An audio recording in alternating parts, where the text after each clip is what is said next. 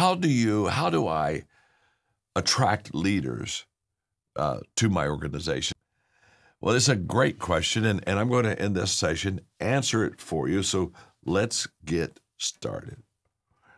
Number one, if you want to attract people to your team, you need to love what you do. Often I say you need to love what you do and you need to be doing what you love. Now, when I'm talking about loving what you do, now I'm talking to you about your passion. And what's beautiful about passion is it truly is the great energizer. In other words, passion gives you energy. If you know a person that's passionate uh, about Zifra and they're passionate about what they're doing, they have a lot of energy. People with passion have energy. People without passion, honestly, they lack energy. So when a person loves what they do and they do what they love, they're filled with passion, which not only gives them energy, but it also makes them attractive to other people. Let me explain. When you see a person that really loves what they're doing, you're just attracted to them. You may not even know what they do, but there's something magnetic about a person that enjoys life, enjoys people, enjoys making a difference. And pretty soon you find yourself literally being drawn to them.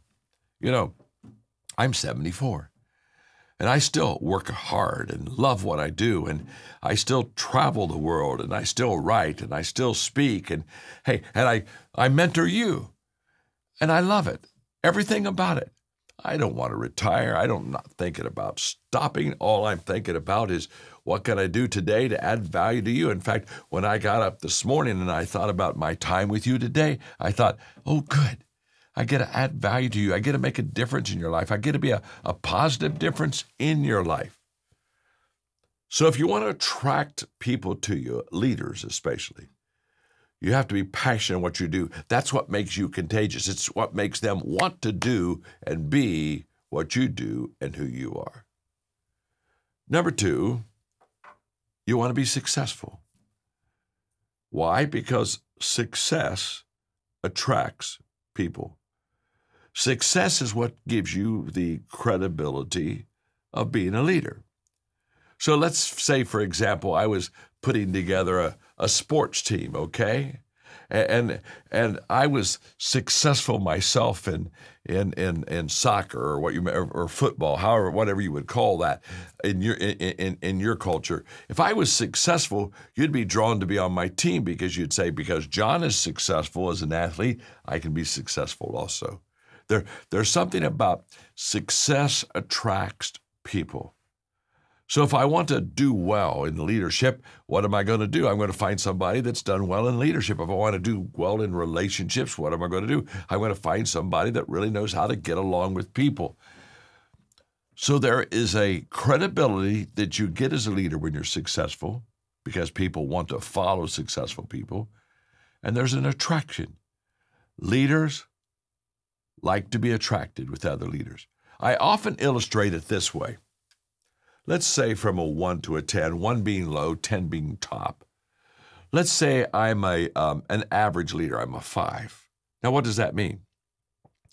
That means that I will attract people that are fives, fours, and threes, twos, and ones. Because the law of magnetism and the 21 irrefutable laws of leadership says who you are is who you attract. So if you're a good leader, guess who you attract? You attract good leaders. So if you're a five average, you attract fives and fours and threes. And we can get you up to a seven or an eight. If you're an eight, what do you, you attract some eights? You see, the better leader you are, the better people you attract. The higher you go, the more you attract people that have already gone high. The more successful you are, the more that you attract successful people. This is huge people want to be on a winning team. They want to be with somebody that's successful. So when you're successful, you begin to bring around and attract to yourself really successful people. Number three, take action. This is what I call action attraction. In other words, there's something about when somebody is moving forward that it's that movement that people say, oh, She's going somewhere. He's going somewhere. Where are they going? I wonder if I could go with them. I wonder if I could join their team. You see, what leaders do is they not only know the way, they show the way. In other words, they basically look at the people around them and say, I'm going to climb this mountain. Do you want to climb this mountain with me? I'm going to go to the top. Do you want to go to the top? And it's that action that really makes the difference in people's lives. Again, nobody ever joined a person that just had good intentions. They only join somebody that has good actions. So the moment you start taking action on a situation, you begin to attract those people to you.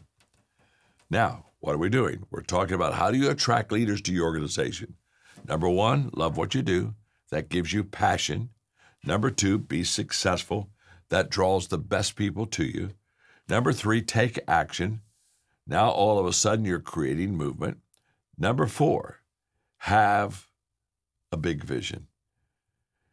You see, the size of the vision that you have determines the size of the person that you attract. If you have a small vision, you attract small people. If you have an average vision, you attract average people. If you have a big vision, you attract big people. I know this because for 50 plus years I've been leading. Many years ago, I gave a vision that was just amazing. I looked at a small group of leaders and said, let's train a million leaders around the world. Now, when I gave that vision, there were only about, oh, maybe a thousand, twelve hundred people that were following me in this vision of training leaders. Just a handful of people.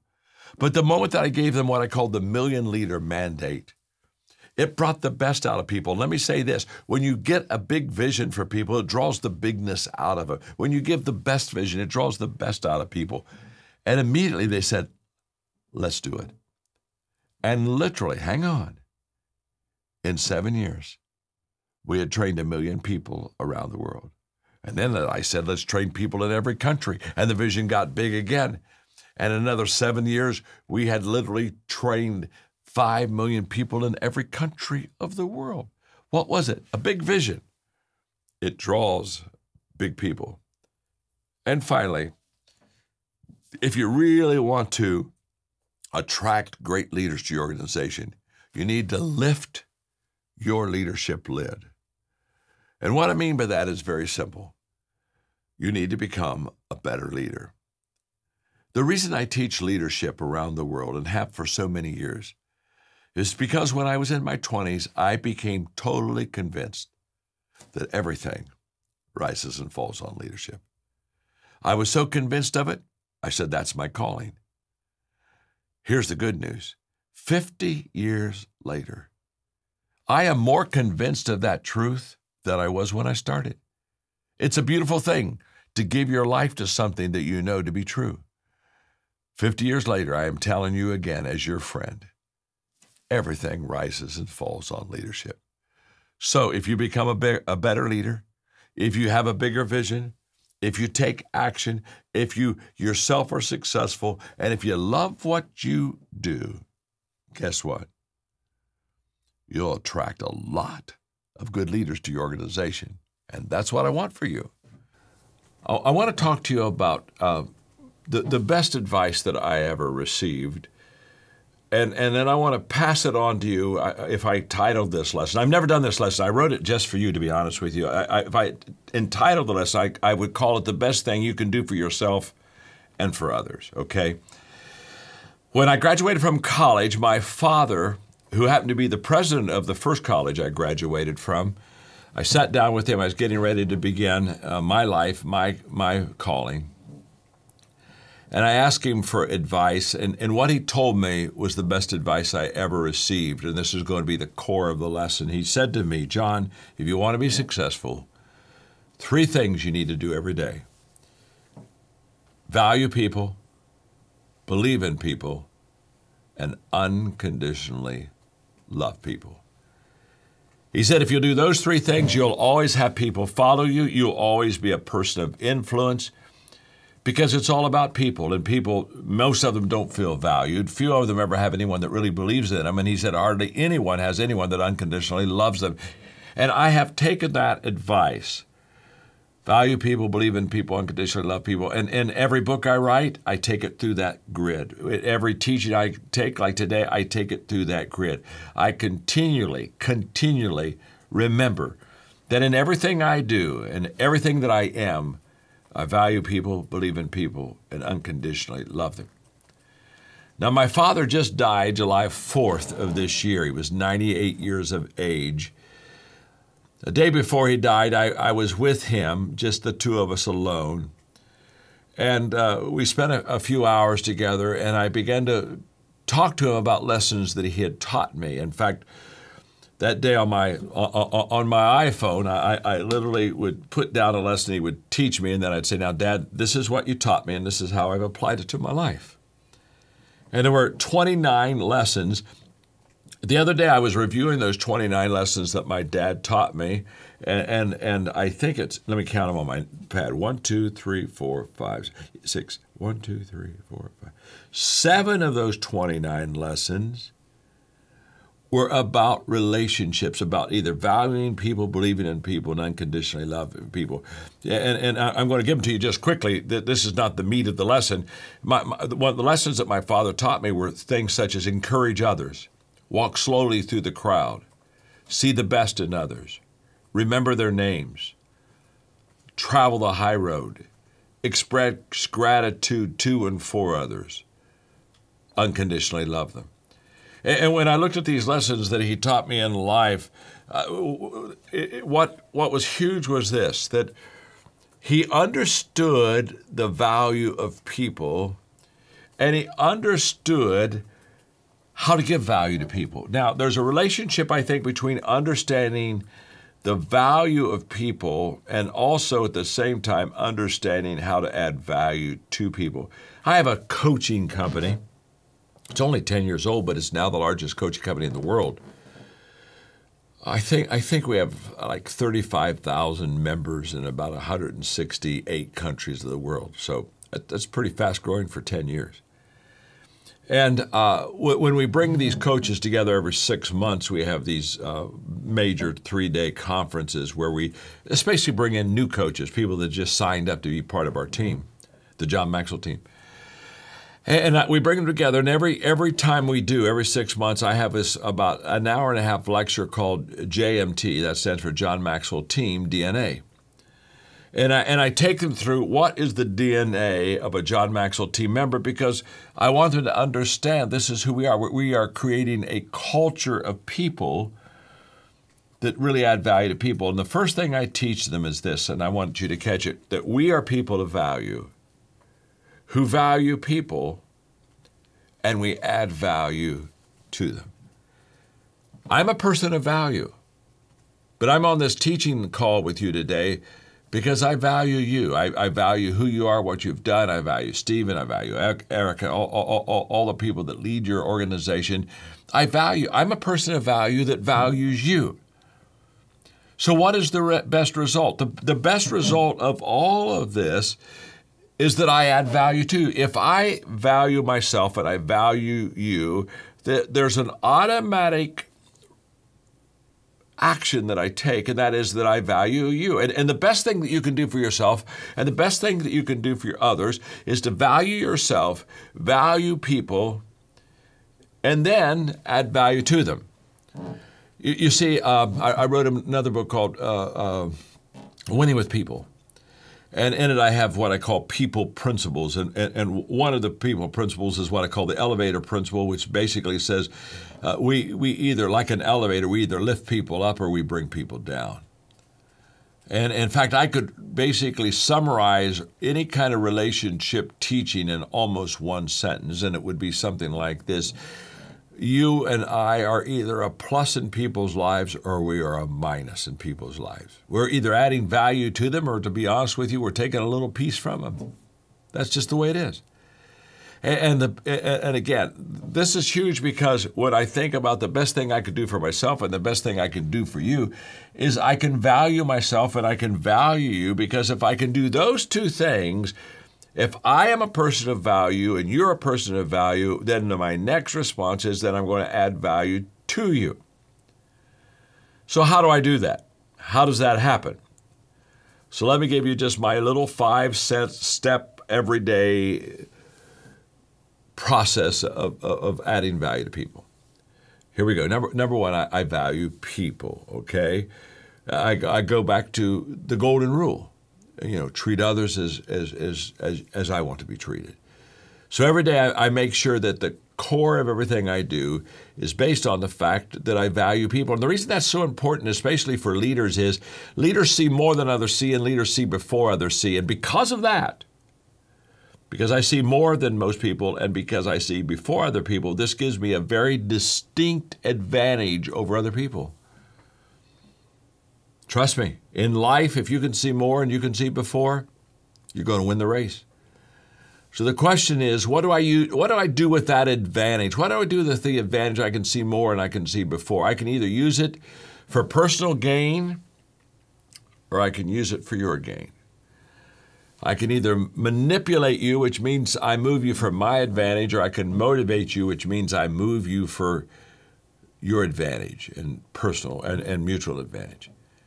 So, so I'm, I'm either going to be a plus or a minus, and, and I'm going to be a plus or minus with people based on the fact that I, I value those people. If, if, if I value you, I'm going to be a plus.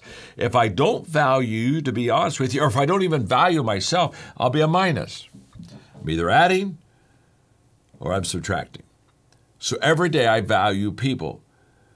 The second thing I do every day is every day I, I think of, of ways to add value to people. In other words, I look at my calendar in, in the morning. I uh, on my calendar day in, in in so what am I doing before I ever get here in our teaching lesson? I'm I'm thinking of ways I can add value to you. I, I'm I'm I'm thinking ahead. I'm intentionally saying I'm going to be with you today. What can I say to you?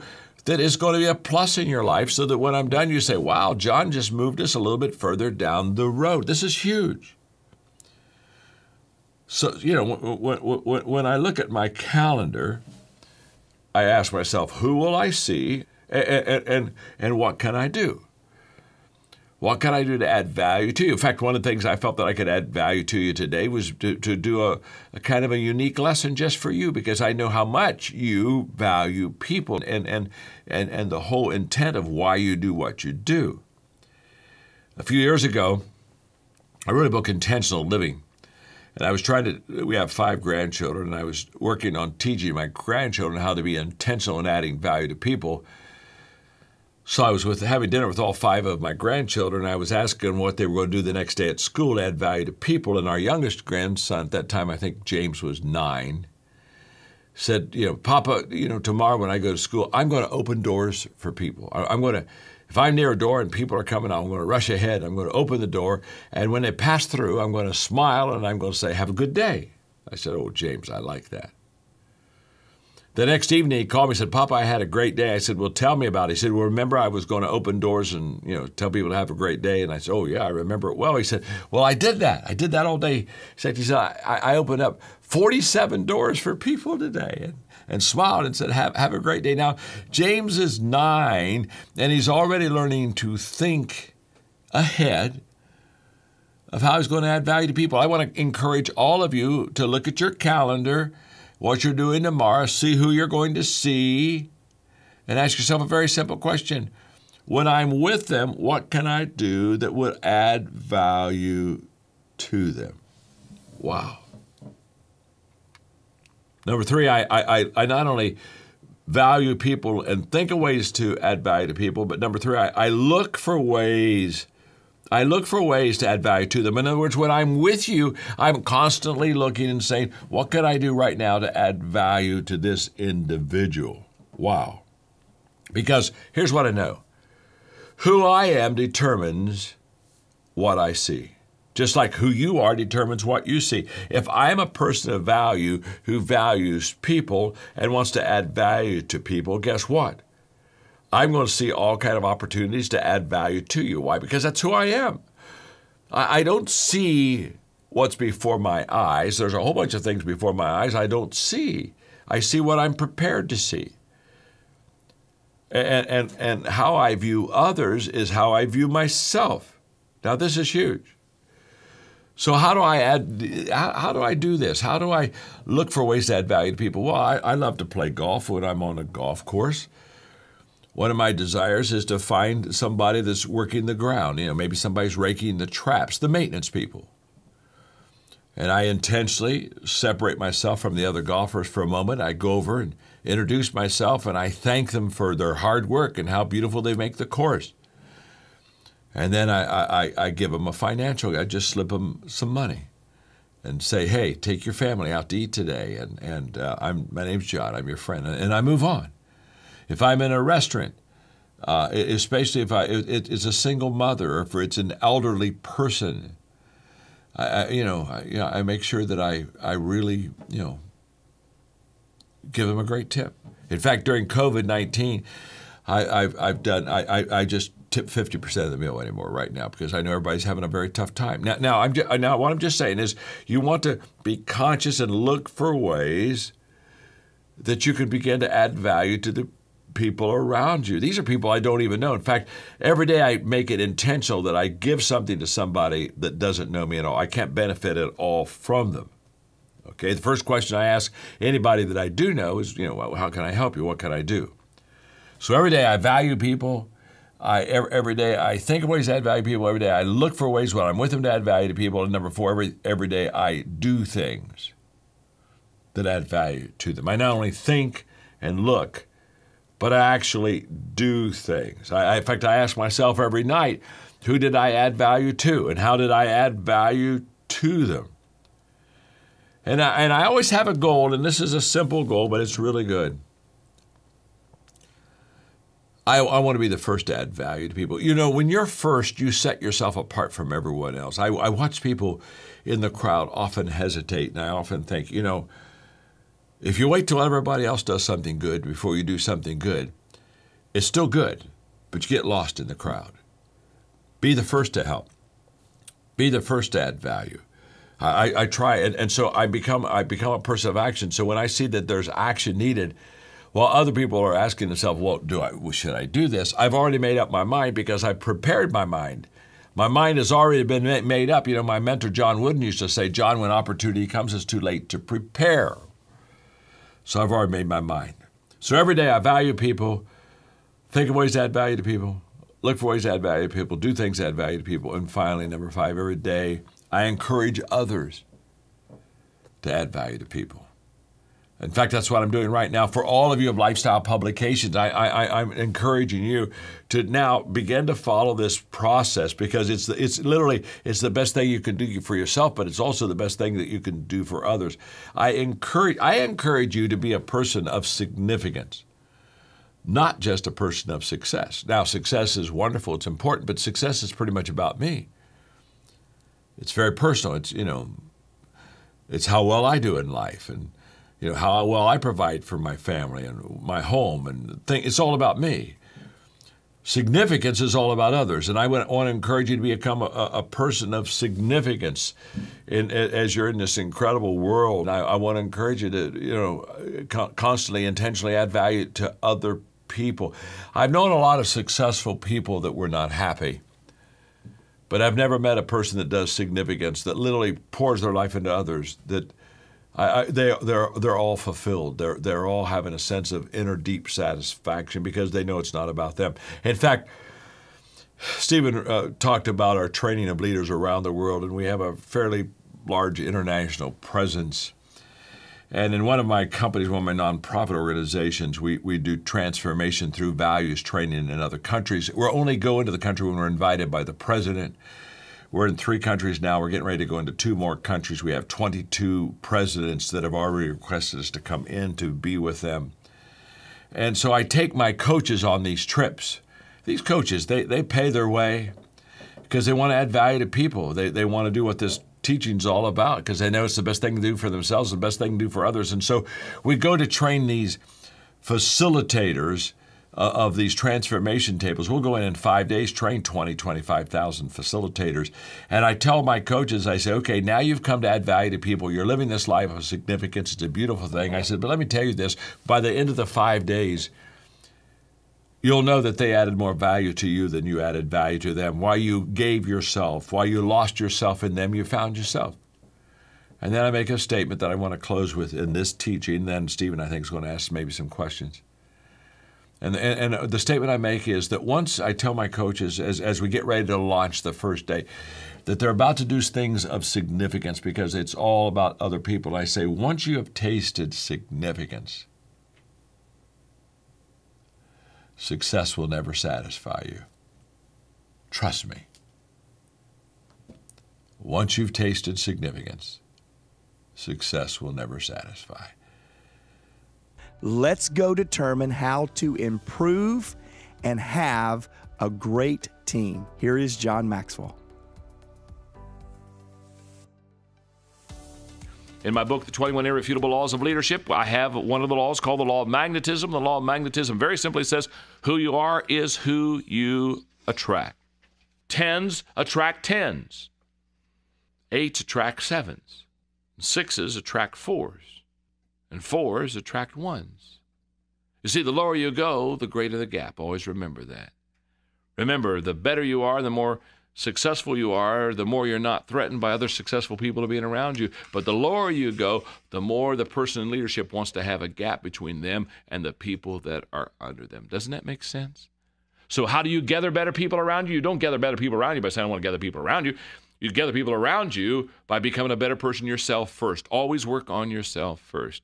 Uh, who was it said one time that, that almost all the problems I've had in the life started with me? So if you can just, you know, one person said one time, if I if I could kick the person most responsible for most of my failures in life, I wouldn't be able to sit down for weeks.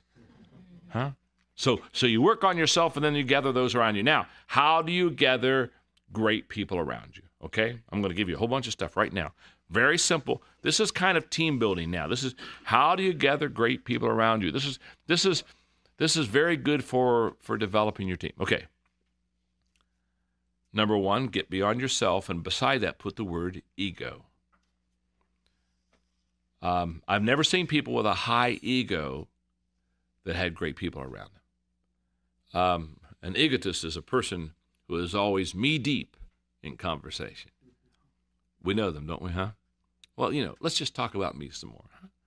So if you're going to gather great people around you, you got to get beyond yourself. Number two, you have to grow beyond yourself. And, and beside that, put learning environment. In other words, you have to you have to have a learning environment to gather people around you. Uh, learning and innovation go hand in hand. The arrogance of success is to think that what we did yesterday will be sufficient for tomorrow. Leaders must set the pace as both teachers and learners. And never forget your dual role. We're always teaching, we're always learning. And by the way, what are we what are we teaching? We're teaching what we've just learned. And it never ends. Uh, and, and by the way, the enemy of learning is knowing. Always remember that. When people are not growing and learning, it's because they, they know. They know. That's a that that's bad. The enemy of learning is always knowing. Number three. Now you got to give beyond yourself, and that right beside that, put this phrase: investment in others. You've got to begin to invest in other people. If you're going to gather a great team around, you've got to invest in them. Time given to leaders grows the organization today. Time given to potential leaders grows the organization tomorrow. By the way, you don't ignore one for the other. You pour your life into the leaders today so you can continue to have the success of the day, but you pour your life into potential leaders so you can have the success of tomorrow. Now, what's that mean? What, that means in my organizations I have is that I have to spend a lot of time with the key players because they're the, spending key time with the key players multiplies success. You've got to spend time with them, you know, seeing how everything's going. I mean, key players, strategic players. Uh, my schedule gets more and more filled up. Um, with, with, with, it's interesting. My schedule gets more and more filled up with being spending time with my key players in my organization. Why? Because I, I'm interested in multiplying myself.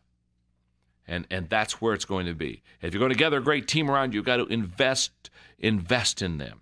Number four, you have to share your dream, obviously. Your dream should be bigger than you.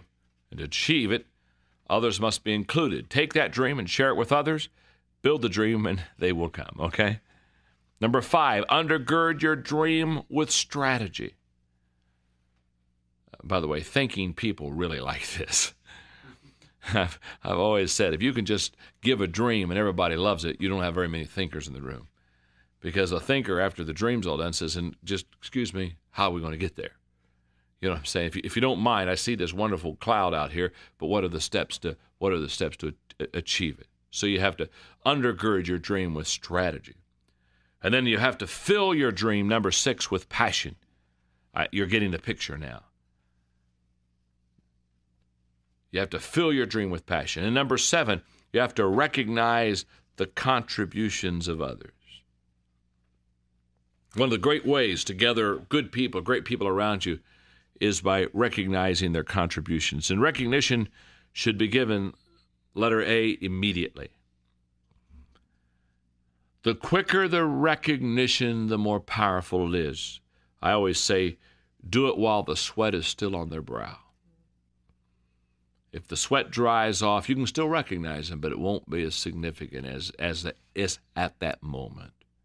Recognition, letter B, should be in front of others, especially peers and family. And number three, it should be in writing. Notes and plaques have a long life. Um, now, nothing wrong with verbal recognition at all. But uh, what I have found is a note written to somebody has much more significance than me just saying good job.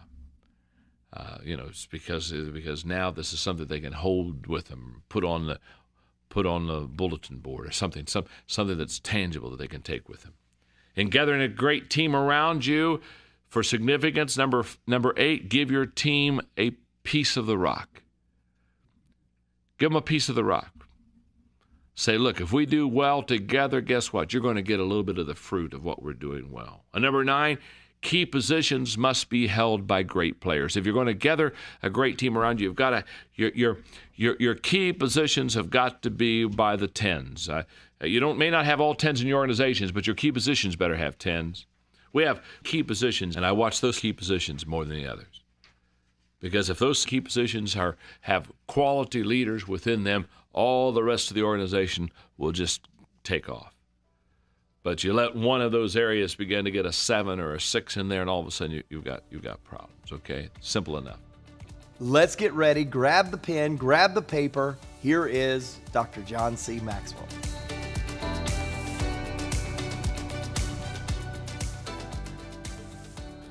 Let me give you some benefits of building a diverse team because there's some wonderful things that happen. Once you, once you commit yourself to diversity, there's some wonderful things that happen. Number one, a diverse team will fill in the knowledge gap. We all have a, a knowledge gap, and that is none of us know enough, okay? In fact, I put in here it is important to know what you don't know and know those who do know so you can focus on what you do know. Okay, now that's when you need to look at a couple times, all right? You need to go over that little statement, but just trust me on this. Here's what I'm saying there are a lot of things I don't know as a leader. And I depend on people around me to know those things because I don't know them. And I not only don't know them, I don't particularly want to know them because it'll keep me from knowing what I need to know. You have to start with this premise you can't know everything. So you have to know what you need to know. And what you need to know as a leader are the things that are basic to success in leading. And there are a whole bunch of things that are important to know, but they're not basic to the success of leading. But what you have to do is you have to have people around you that can help you in those areas. And the key is in diversity is that when you get the right team around you, that they have knowledge that you don't have, it really begins to fill in the knowledge gap. So the knowledge gap really gets filled in when you got people around you that perceive differently, see differently, think differently, feel differently. That's huge. The second thing you fill in with a diverse team is the perspective gap. And let me just take you through this little sequence right here because I got perceive, believe, receive here in the lineup. You can see how this is working. And there's sequence I want you to get. What I see determines what I think, which determines what I get. That's a fact. Basically, what I receive in life has a seed of perception in it. That it begins with perception. And how I see something determines how I think about something, that determines most of the time what I'm going to receive out of that. So, perception is huge. It's not always reality, but it's huge in how I think and how I act. And so, a diverse team will really help us in that process. Because how do I think and receive differently? Well, I've got to perceive differently. Well, how do I do that? I do that by diversity because not everybody in the room is going to see things like I see things. Number three, a diverse team will fill in the experience gap. Diversity in experience is really essential. And it goes back to the, you know, the proverb we heard, if all you have is a hammer, everything looks like a nail. Oliver Wendell Holmes has this great quote The young man knows the rules, but the old man knows the exceptions. And to know the road ahead, ask those who are coming back. Very important. Experience, fill in the experience gap with people around you. Number four, diversity will allow you and me to fill in the problem solving gap. Because we have what do leaders have to do? They have to solve problems all the time.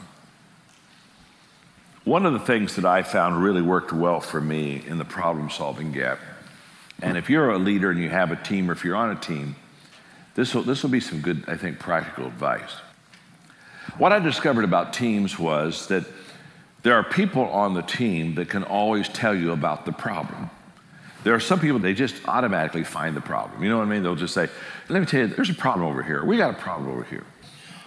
And I got tired of hearing my team talk about the problems. And so one day I looked at him and I said, Let me explain something to you. Any idiot can find a problem. So low IQ people can say there's a problem. So if you found a problem, you're not smart, you just found a problem.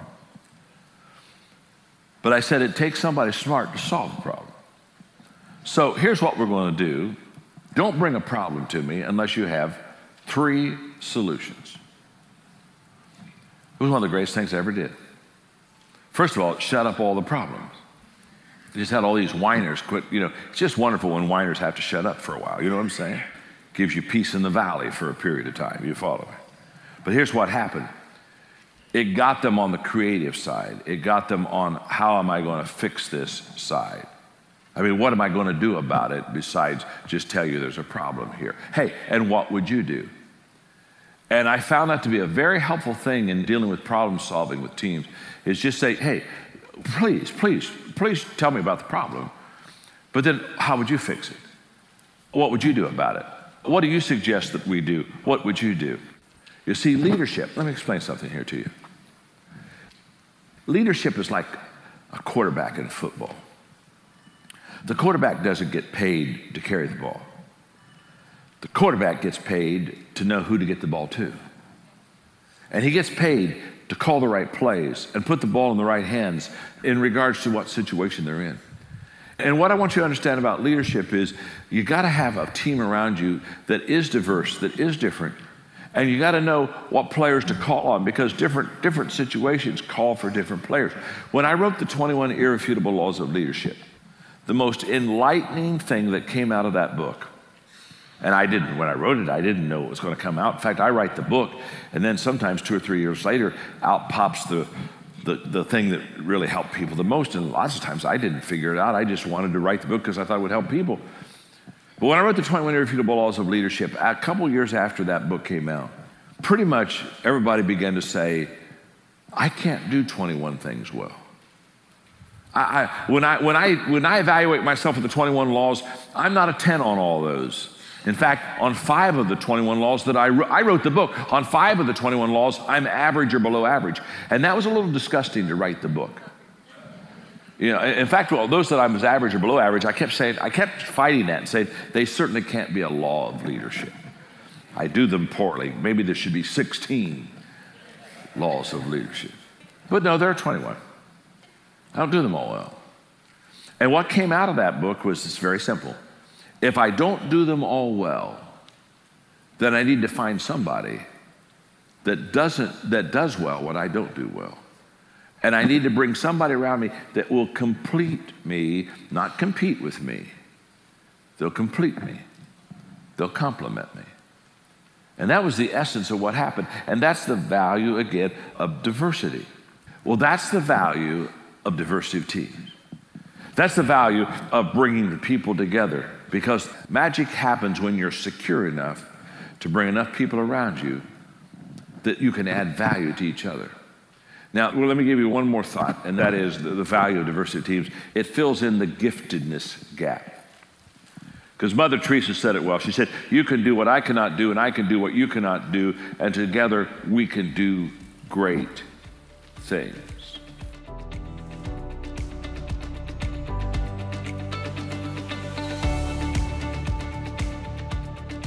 Hey, welcome back. So glad you're here. Chris, it's good to still be Still in studio here. with Love you. Yeah, part it. one, part two. What a incredible day of learning just for you and I on how to lead. Yeah, and what's been really powerful is um, even in between this is us having a conversation with our team Yeah. and talking about what does this look like here? What are the barriers? Have we overcome them? And then now we're going to transition into some of the benefits of, of it. I'm glad you said that because not every time do we get to kind of sit here and do part one and part two because not every time is a series. But uh, in between uh, uh, us recording last week's podcast and then recording this podcast today, we had a brilliant conversation. We're incredibly blessed with a new teammate, Javon. And Javon brought a perspective to us on barriers, and Jake is just a young, cutting edge artist. He performed last night. Didn't invite me. That's another whole problem, Chris. You and I were not We were not invited. there, but, but our, our team here and the diversity that of our team just caused us to have a great conversation in the middle. And today we get to talk about barriers. Or today we get to talk about benefits. Yeah. We've talked about barriers, but today we get to talk about benefits. And there's this standout statement that we want to deliver in this podcast that says this Together we can do great things. John quoted Mother Teresa in the lesson, but it's this idea that we are better together when we focus on what connects us rather than what it separates us. And so much of our society is trying to do that. And so, man, I'm excited to get into benefits today. It was Winston Churchill that said, diversity is the one thing we have in common. Celebrated every day. Yeah. And I love that. He made a commonplace out of our uniqueness. And everybody that I talk to, no matter what culture, no matter what race, what gender, whatever you come from, everybody wants to continue to own their uniqueness. Yeah. But they want to be valued with the common. Yeah. And um, so, anyway, man, we're in it today, and I'm super excited. Yeah, and I love the fact that we've had the privilege of working with a leader and serving a, a leader that for years upon years has has led this way, has had diverse teams, has worked through the barriers, and then we've seen the benefits of that. And um, I want to dive in and and get some of your thoughts from a leadership perspective as you now are responsible for leading Maxwell leadership and, and carrying this this mantle of where we're going and and one of the things that I've seen as we begin to build this diverse teams is um, I love the statement that John talks in here, and he used a lot of "you know, they know." That you know, again, Yeah. uh, you have to go back and listen to it. I think it's in the notes. You have to follow it along. but there's a knowledge gap, and we don't know what we don't know. And oftentimes, you and I talk about because we've been around here a long time and I've been blessed to do that, to where we, we feel like we're in a bubble. Yeah. And I would challenge that. I think uh, leaders out there, uh, the the longer you lead, the more in your position, the more you're in the organization, where you're going. We we get to a place to where we get very comfortable. We become lack. Uh, we have lack of self awareness, and we don't know what, we don't know. And one of the things that that you've done as a leader recently is is begin to build this diverse team, and the benefits that we're seeing of that is the knowledge where Yeah. John talks about increasing knowledge gap. And I've watched you uh, be teachable. I've watched you be curious and ask questions and in a learning mode. Talk about that just from a, a, a leader standpoint of the things that you're learning, the people you're bringing around you that are helping us as an, an organization fill that knowledge gap. Yeah, you, you, for me, it's really easy. I, I, I going back to something you said. Uh, I don't use the word fear often, and I don't know if it's pride. I hope not. I don't know if it's my macho way of I want to be seen as a guy of cour- courage, Sure. not of one of fear. But very rarely times do I feel fear. But I'll tell you in leadership, there is one time that I constantly fear feel fearful about, hmm. and that is that I'm missing something. Yeah. What's it like to be on the other side of me? What are my blind spots? Yeah. What am I missing? What what is it that I need to know that I don't know? I mean, these are questions that plague my mind quite often. Not not, not always in a healthy way. So Right. I'm not I, I'm not going to teach you on how to have healthy fear Right. and feeling like you're missing something. There's sometimes I feel like I'm missing something and I'm not, and it paralyzes me just like fear does. But this idea of uh, the knowledge gap what I am enjoying most about leadership now is when I walk into a setting and leaders have already thought about the next step and I am surprised. Probably this was most illustrated at the recent event that we have. We have it's called the International Maxwell Conference. Uh, we had over 2,000 people there. We were certifying to be one of our uh, coaches, speakers, trainers. And in fact, if you want more information, you can go to maxwellleadership.com and you can find out more information on joining our team of certified members and, and be a part of that. But um, we were at this event, Chris, and we're, we're rebranding. We're doing some really cool, exciting things, and it's, it's a big deal. And I showed up that morning, and my my executive assistant she said, "Hey, you got to be at a staff meeting at 7:30." And I said, "A staff meeting? Why a staff meeting?" She said, "Because some of the stuff you're communicating at 9 9:30 needs to be communicated at 7:30 to our team, and we've got swag, and we've got gifts, and we got all this stuff." And I went, who thought of all this? It was Yeah. this perfect euphoric moment for me of how the knowledge gap translated to culture building team dynamics. And for years, I have felt like those ideas either had to start with me or come Yeah. through me. And this particular time, I was just showing up and it was brilliantly done. And that knowledge gap, to your point, of people knowing an even better way and not feeling like as the leader Yeah. that I had to deliver that was a real cool experience of the diversity of thinking in the knowledge gap because we have products of the product leading. And you you you wouldn't have even maybe thought or known to do that, Correct. right? I wouldn't have. That's Correct. not that's not how I'm wired. And so the fact that uh, we now have team members that you know are thinking outside of of experiential things that we would Yeah. um, is just a benefit of that. And I love that app story. Now, moving right into uh, this next one that I, I want to talk about. You and I were talking about as we were getting ready to kick this off. We were like, man, I don't think I've heard John talk about that before. So, so podcast listeners, viewers, this this may be something new, right off the cuff, right here that John John is teaching. But if we're going to have people on our team that are diverse and are bringing things to us that um, that we don't know, and it should be that way, uh, what we've got to do is we got to make sure, hey, now we're going to hear a different perspective on things. And uh, I love the statement of uh, make sure that we are learning the persec- the perspective of others in all situations as a leader versus just stating your own truth, right? So Right. make sure that hey, they have the knowledge.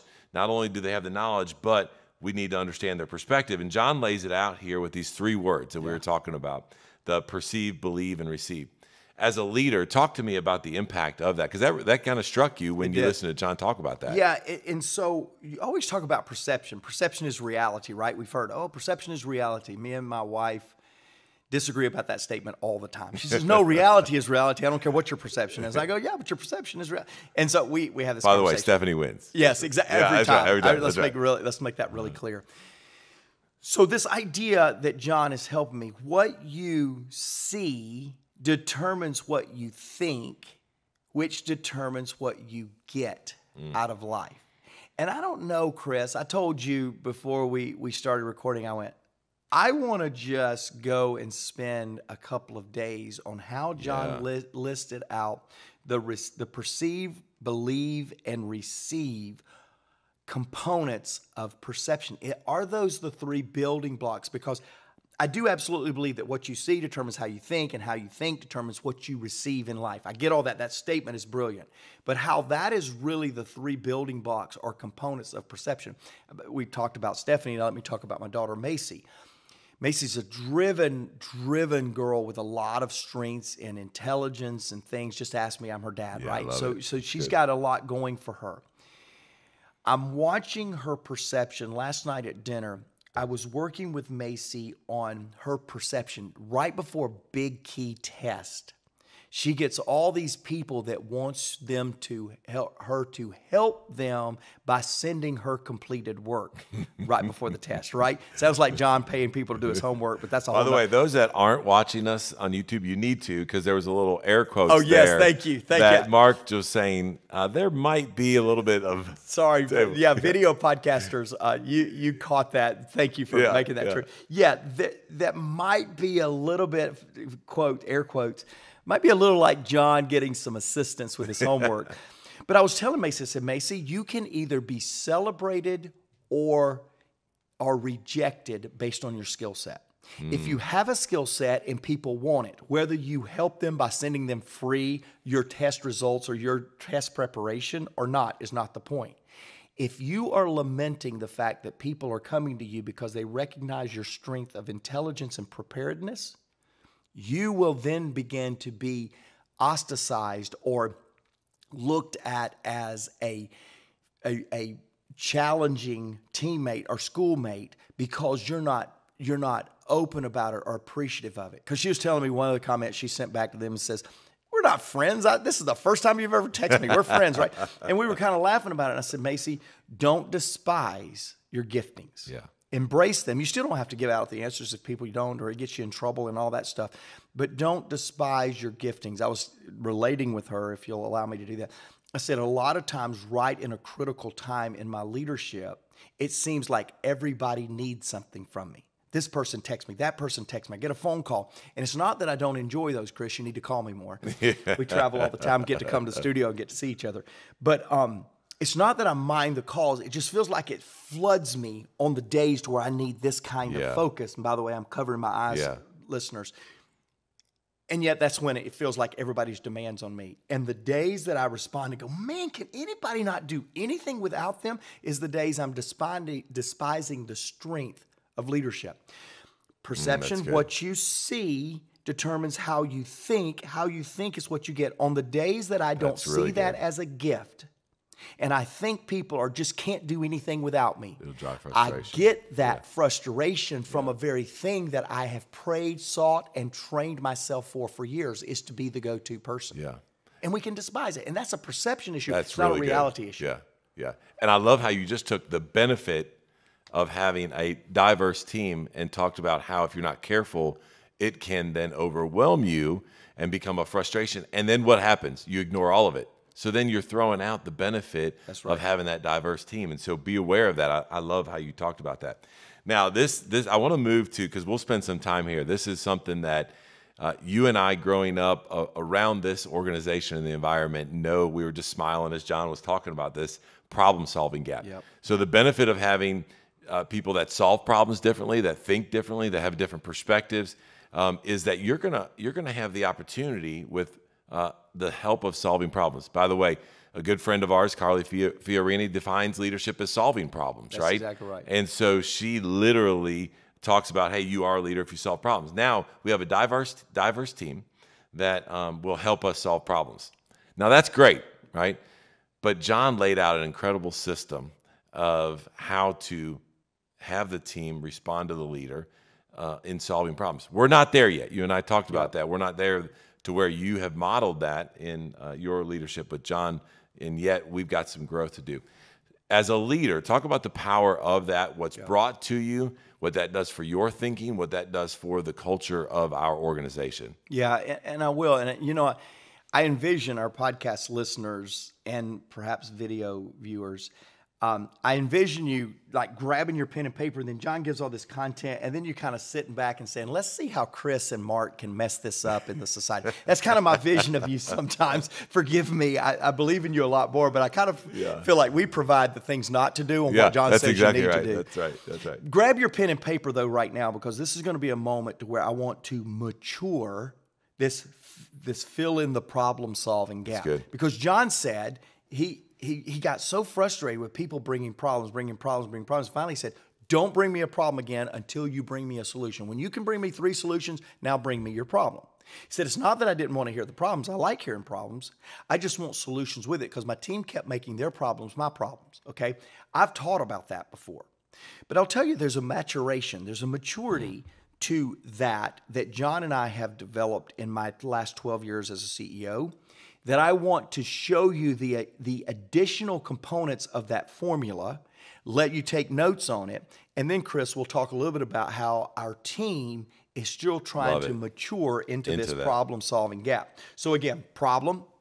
It, this is John's words. I kind of cringed when he said it. He said, "Any idiot can identify a problem." And I went, "I'm the idiot that's identified a lot of problems for John. Present, tardy, guilty, whatever." Any person should be able to identify problems. In fact, some people, the question is, is you, are you identifying the right problems? And is your problem really a problem or are you making it a problem? We got all that. Yeah. But there is a problem. And for John and I, I saw pretty early on that what I identified as a problem, John said, Yep, we've got a problem. So now I had to get good at coming with solutions that felt good for how John would solve things. So then I went through a maturity on solutions, uh, solution suggestions.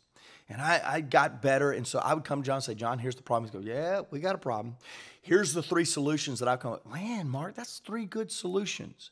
But now let's mature this a little bit further to where he would ask, What's your recommendation? So we go from problem identification, solution suggestion, to now solution, uh, uh, uh, um, solution su- suggestion to now my suggestion. What is my personal preference on the solution we should go with? Solution selection, maybe. And I would look at that and I would say, This is the one I think that we should go with. And then he would say, Why? So there's your there's the complete formula. Uh, problem identification, three solutions, Recommendation. option of recommendation, and now why. That's good. And what happened in the why, Chris, is John could determine two things because he said often, Mark makes 97% of the decisions in the organization. What he wanted to identify in the why, and we as leaders need to identify, is why. Have you properly thought it through? So it was a, a question of preparedness. The why was a question. Is Mark prepared when I ask him why? Secondly, it was a it it was a question of passion. Was I passionate about my suggestion? So he was going, does Mark have the tenacity to see the solution through? Mm. And then it was a question of accountability. Is Mark accountable to something in the why that will hold him true to this being the solution to go That's through? good. And so if we can see this experience, uh, this problem-solving gap through the lens of a true tangible thing that we can process our people through. So now back to John and John and I have talked a little bit about that from stages in, in different countries of how we have led together so well.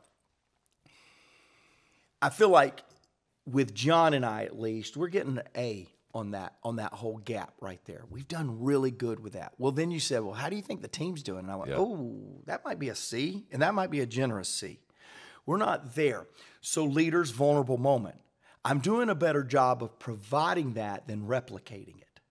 Now, the question I've got to ask, because right now I feel like I have a lot of problem identifiers, a few solutions, but no ownership to the solutions. Yeah. And I've got to work to mature that in a reprodu- reproducing mindset because while it feels good to say John and I are nailing it, it does not feel very good to me to say myself and our team are not nailing that. Yeah, yeah, and appreciate the vulnerability. I, I, I went back and thought about even some conversations where I can see you beginning to model that, uh, even in our, our our relationship and our leadership, to where you're like, okay, no problem. What do you think we ought to do?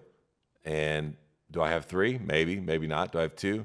And then you go, why? And, and, and so I hadn't thought through the process. And I think it's a great model for leaders to understand that you are going to have people on your team. This is an incredible benefit that are going to think about problems differently than you. They're going to be able to identify them. They're going to think about solving them differently than you.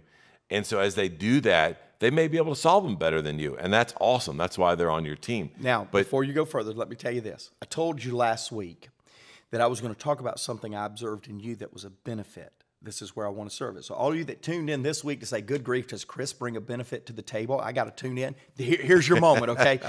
and seriously, Chris does not even know what I I'm going to do say. not. We, we have not had one conversation about this, but me and Matt Reardon, our new COO, have had multiple conversations about this.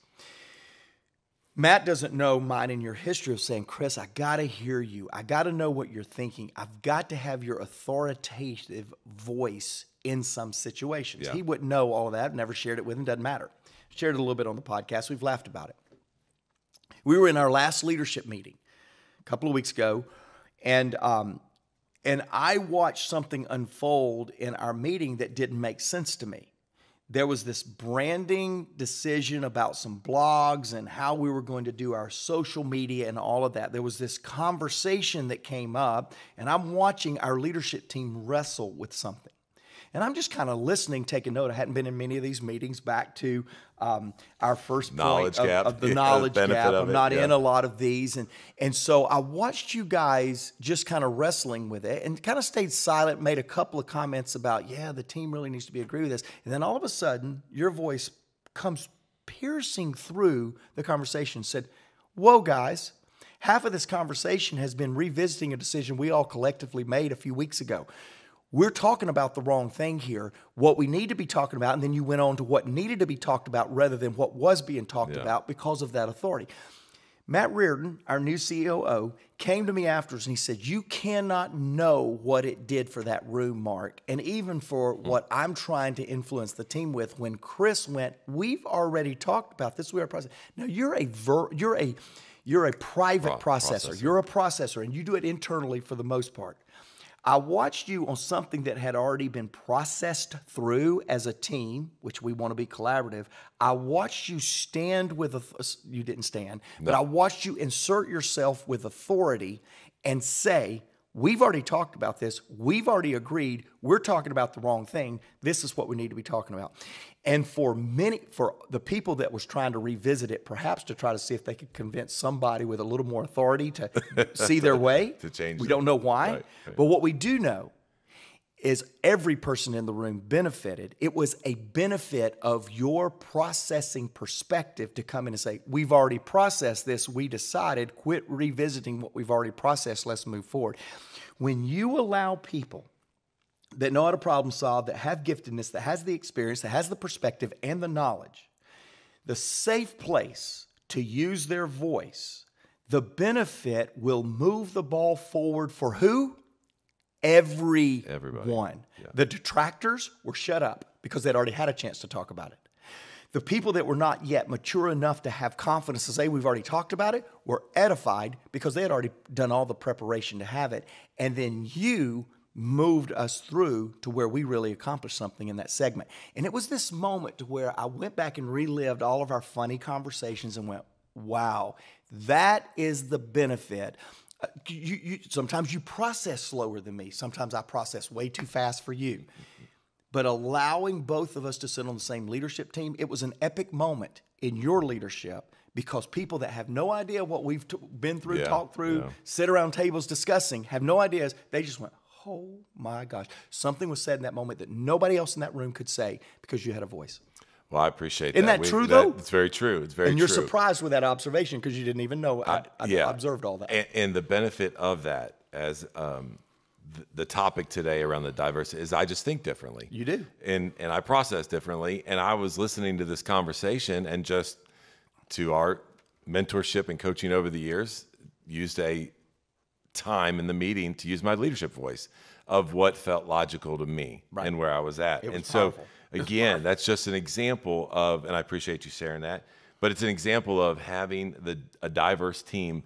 Um, again, back to what we talked about. Like we love the fact that, that John has taught us, and this is what Maxwell leadership is about. That we want to value all people, um, and that we want to value them equally in a way, no matter where they come from, the nationality, the gender, the, the leadership experience, but to use people's gifts and how God created them uh, to be able to impact your organization, to be able to help lead your organization. And by doing that, you're going to have people that are going to help you solve the problem that sh- the problems that show up inside your organization.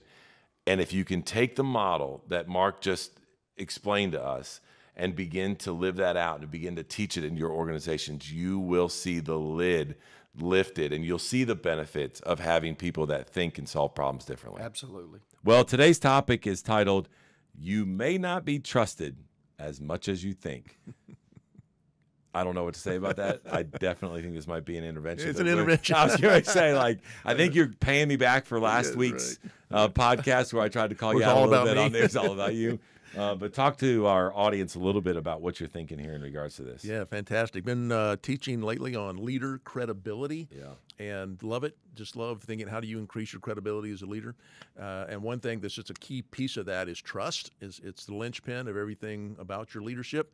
Uh, actually, I'm reading a book. Um, I've been reading a lot on trust, but uh, especially one I enjoyed was from someone I had worked with over the years years ago, uh, Dr. Joe Folkman, and he worked with Jack Zenger, and they have a lot of they do a ton of together, research. yeah. Yeah, so um, they uh, Dr. Folkman had a new book out called The Trifecta of Trust, and uh, in that book, uh, by the way, the trifecta was uh, displaying expertise and good judgment will build trust, uh, demonstrating consistency will build trust, and uh, building relationships will build trust. But that's you can get that from the book. One thing he said though that captured my attention was that you may not be trusted as much. Forty-five percent of leaders in his research are not trusted as much as they think they are and he said there were seven signals that would indicate, and maybe we should pay attention to, that would um, indicate how much your level of trust or how you could deteriorate your level of trust with your team. So I thought we'd cover the seven signals and uh, highly recommend the book Trifecta of Trust by Dr. Joseph Folkman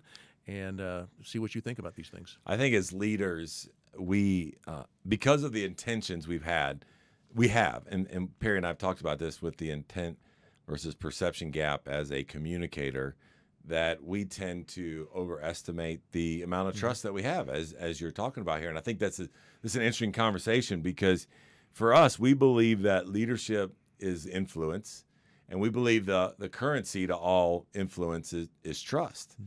And um, I think also when we talk about in our teams, people are like, I need more engagement from my team. And then that 45% you just shared, I was like, okay, that's a big part of an engagement level with our team members. And if 45% don't feel like they trust their leaders, there's a big problem when it comes to getting our, our teams engaged. So I'm, I'm looking forward to the conversation because this is a little bit of a different, not, not spin on trust, but a little bit of a different perspective on leaders, remember, anybody that has influence as a leader, overestimating the amount of trust that they might have with their people. Well, I figure I'm not lying, cheating, or stealing. I must be trusted. Right, that's Well, right. There's a thousand little things that make that up. So uh, I'll give you the signal and Okay. kind of what it means, and then maybe you could comment Yeah. on that. But uh, by the way, I put this all in the learner guide. So there's going to be seven of these, and there's some details. So go ahead and get the learner guide. It'll help you with that. But signal one. Failure to exercise good judgment.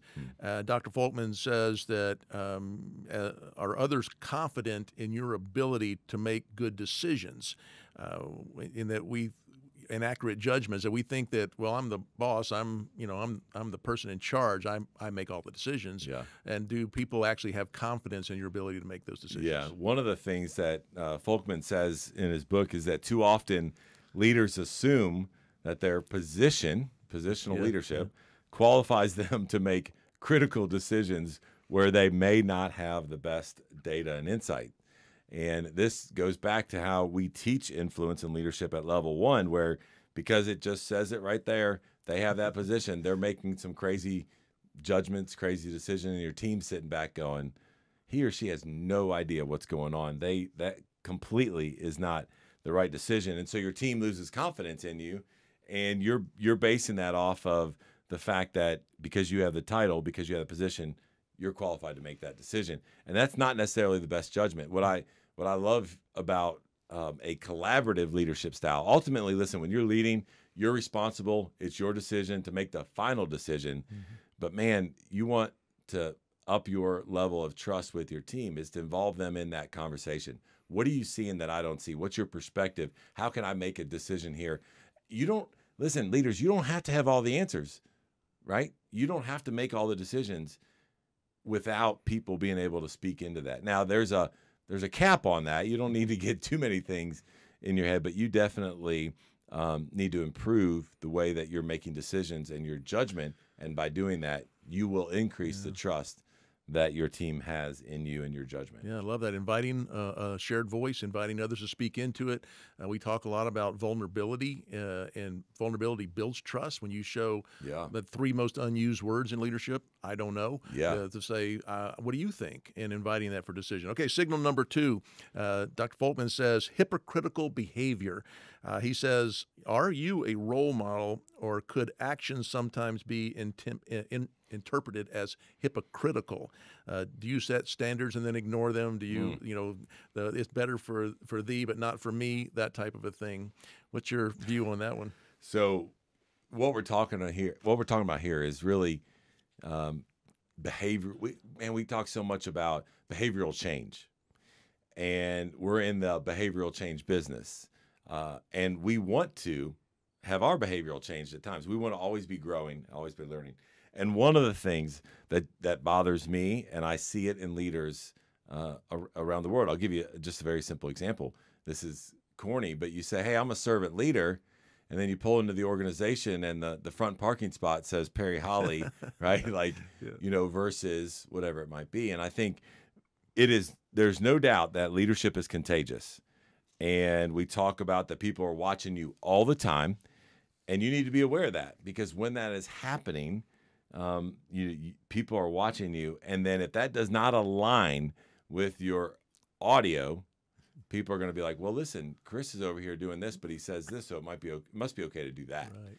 And a lot of us are so we learn visually, and as leaders, we need to be aware of that um, to make sure because people are going to be watching us, and if we're not aligning what we're doing physically with what we're talking about audibly, then we're we're not going to have any credibility. Yeah, yeah. We're not going to have any trust. They're not going to trust us. My son owns a Chick Fil A restaurant, and I asked him, "What's your biggest leader lesson so far?" He's he's doing Hmm, at it. And he question. said, "What he said, uh, how much easier it is to ask someone to clean the restrooms when they've seen you clean the restrooms." Yeah. And he said it's a you know, you know be hypocritical for him to say how important the restroom clean is and how we got to clean on top of this. And by the way, you go do it. I don't do it. Yeah. He said when he got in there, when they see him in there doing it, that they all realize that's that's not hypocritical behavior. Yeah. That, that's really One other comment too Mm-hmm. that this is a little bit of a pet peeve of mine is there are things as leaders of teams and of people that you will have never done before, but you're going to go ask somebody to do, and and that's okay. There are going to be situations like that. What bothers me about it is they go, well, it shouldn't. It's not very hard. It shouldn't take you but about ten minutes. Go. And so, although there are times that I'm not going to have experience in something that I'm asking a team member to do, the way that I talk about it, the way that I Right. approach it needs to be so. Now, if there's a chance for me to roll up my sleeves and get in there, man, it's the first thing I want to do. Like, you, great example with your son. Um, but if there's not, what I want to encourage you so that you don't break their trust is, is don't make assumptions as you're communicating, asking them to do something that you have no idea how long it's going to take or how hard it is to do. Hey, podcast listeners. Do you have a clear plan for growth? Achieving big results most often does not require big life changes. Small improvements over time compound into big results.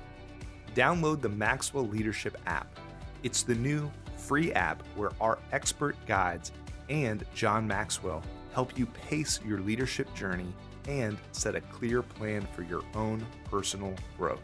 You can also find all sorts of resources on the Maxwell Leadership app, including this podcast, information on upcoming events, and much more.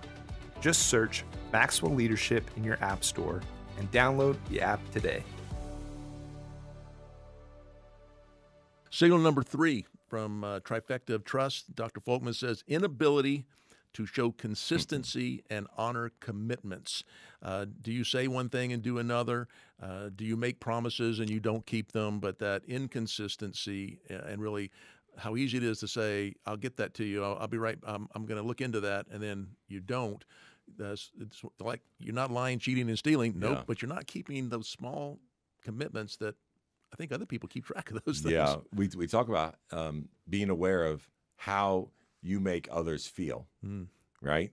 And when it comes to commitments, and and Folkman says in his book, you know, it is easy for us to to say we can do something, but while we may forget about that commitment or forget about that, those that we make commitments to, even though it may be easy, if we don't follow through, they always remember that because it's how we made them feel by not following through, not having um, consistency when when it comes to that. And it's so important for us as we develop trust to have consistency. The other thing here that we I I'd love to talk about is I think leaders are missing an attribute of being consistent in order to increase your influence mm. and to increase your trust because you have to be at a place to where your team for the most part knows what they're going to get because if they don't they're coming in with walls up right? They're coming in we're like how's perry going to react to this request? Or is he going to kind of yell at me through this? Or you know i, I was talking which version shows up yeah that's right. I, I, was talking to a um, I was talking to a friend of mine who is in the cybersecurity world, and he just changed organizations, and uh, he changed from a, a, a big, big, big firm to a smaller boutique firm, but it, it's still a decent sized firm. And I said, "How's it going?" First couple weeks, and he said, "Man, you know what's amazing is that what is happening with my leader on team meetings and product rollouts."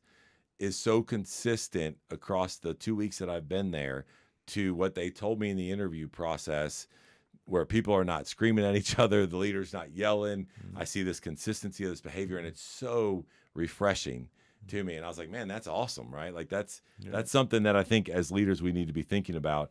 And so not only consistent with emotions, but then your follow through. To his point, like, you know, people will not forget your commitments uh, that you have not followed through with them. And so make sure that you're you're being very intentional about that. Signal number four, as a reminder, these are seven signals that you, that might break trust. You might not be trusted as much as you think you are. Number four from the book Trifecta of Trust is neglecting relationship mm-hmm. building mm. practices. Uh, do you make an effort to stay in touch with the issues uh, or concerns of other people? Uh, are you the last to know when other people are having problems? I often write about this. There are people telling you bad news. Do they feel safe coming to you? Do you have that relationship? Um, do you know people on a personal level, that sort of thing? Yeah, when it comes to relationship, for us, I immediately go to, you know, level two influence in the five levels of leadership, which is the foundation of everything that we teach it, with our clients and with our partners on helping them develop leaders and shift culture inside their organization is to understand that common language. Level two influence is the foundation. John calls it relationships as well. And if you don't get this right, if you skip mm-hmm. over that, what we see in a lot of organizations is we see a, a, a high turnover number. Um, we see a, a lot of uh, lack of engagement because people come in with a title, they go right to production, and they never build relationships or connect mm-hmm. with their people. And I think this is the foundation. Now, I also want to make sure you can understand you can interchange the word relationships with connect. Mm-hmm. Right? A lot of people go, I don't want to build a relationship with Perry because I think it's this warm and fuzzy. But there are ways for you to connect with your team members in a way uh, that allows you to build trust with them and you're not neglecting them. Mm-hmm. And so there are all kinds of creative ways. Projects connect, adversity connects, um, data connects, whatever it might be. There are ways for you to be able to connect. And a lot of people uh, neglect that. And in turn, there's a lack of trust, then there's a lack of engagement. It just kind of rolls on down the hill. Well, I think about too that we talk about you you you may climb the levels of leadership on the five levels, but you never leave the previous mm, level behind. That's good. I think I've seen many leaders that go, "Whoop! So glad that relationship building's I'm over, out. so we can get down to business." Yeah. And thinking, no, no, that's what's happening here. The trust begins to fall away when you yeah. you don't know me personally. Yeah. Uh, signal number five: lack of technical professional expertise, uh, pr- expertise about your profession. Are you competent in the role, uh, or are you out of date with uh, certain aspects of your job? Are you keeping up uh, to be an expert in the space that you're leading in.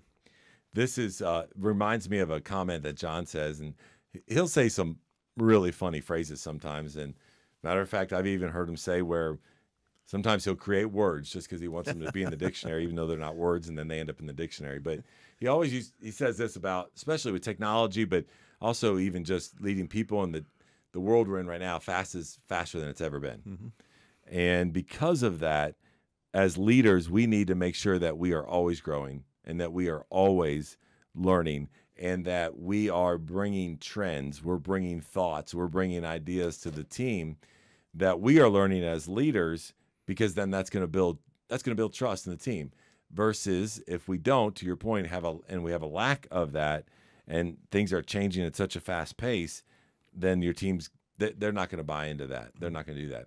Again, I'll go back to the statement of leadership is contagious. And so when they see you doing that and you don't have a lack of it, when then you're going to find them going, Hey, I was reading this article the other day and I thought about you here. Right. And all of a sudden you create this environment and this culture of learning uh, with a with a kind of a growth mindset. Back of that teachableness we talk about. Yeah, yeah. Signal number six: Are you avoiding collaboration and cooperation? Are there groups or individuals in the uh, in your space that, that you're uncooperative with? Are people? Do you have conflict, unresolved conflict uh, with other people in the organization? So you're viewed as being maybe disconnected Mm. with the par- other parts of the organization. Yeah, I I think when, when it comes to this, um, you want to definitely be collaborative. We talked about that a little bit earlier, and and get cooperation. What I want to encourage you is that that, that doesn't mean that this is not going to come without any tension or without any conflict. It, that is going to happen, um, but you got to handle it the right way, right? You got to be able to say, no, no, no, I'm going in this, and I want us to collaborate. I want to hear your voice. They want to feel heard. I want to know what your perspective is on those things because, again, then you're connecting with them. And I want to encourage you not only to be doing this within your team, but I would also encourage you to be doing this with cross-functional teams to begin to to to kind of spread your influence and your thoughts to bring other people into this so that you really are getting a collaborative approach but then make sure again you you take the time to make sure everybody feels heard. There's going to be tension. There is going to be conflict but the challenge is not to just let it sit there and to to to work through that. Make sure we're not avoiding dealing with that. And i'm not saying go out there and stir up conflict. Um, i know some of you listening are like that's your favorite thing to do. It's not my favorite thing to do. Um, but you got to be careful of of how you do that because it's going to happen. Tension's going to happen and you just got to you got to manage that and you got to and you got to you got to lead them through that. And when the, your team sees you doing that they're definitely going to increase their trust in you Signal number seven: uh, absence of communication. Uh, do you keep your team well informed? Do people know what's going on? Are you talking about progress and changes and new directions? Are you letting are are people being surprised on your team, or do you keep them well informed? Well, as we wrap up, this is uh, this is something that's personal for me because I always feel like I can do a better job of it. And what's interesting is that some people on your team want to know everything. Now they they um, maybe it's not the right time for them to know everything as a leader. You're going to know some things before your team and all that kind of stuff. Other people, they don't really just care. It's like, hey, give, what's my job? We're good. and you got to understand how to lead all of them, right? And communicate to all of them, and and communicate the proper way. There's different forms of of how people like to receive information, but when they are surprised, um, there there's a problem as as a leader. When they're surprised, they will not necessarily trust you. And I, one of the examples I think about is again, I'll use an example Mark Cole has taught me, which is when you're getting ready to go in and have a tough conversation or communicate with an individual, um, if they're surprised by what you're about to tell them or the hard conversation you're going to have, or th- this is, you know, in a conflict situation or a tough conversation, but this goes for even just regular communication. You know, hey, Christmas party is, you know, Tuesday, you know, December sixth, and all of a sudden it's two, the fourth, and I'm just now telling my team there's a problem. There's a problem there that they're not going to trust me. But when they are surprised by any type of information, it is a decrease in the trust that they're going to have with you. My last comment is, and I, I love this quote. This is from I think Greg Cagle. The first time I ever heard it was authenticity is a trust accelerator. Hmm. And so everything that Perry just shared with us and the Folkman seven things he brought to, if we will just be authentic as leaders and not try to, to, to look different or communicate different or do things differently, and we'll just be authentic, that trust, they're going to feel that. They're going to know that. And um, they're going to increase their trust with you, even though you think you have 100% of their trust right now. To Perry's point, and why we're having this podcast, that's not the case.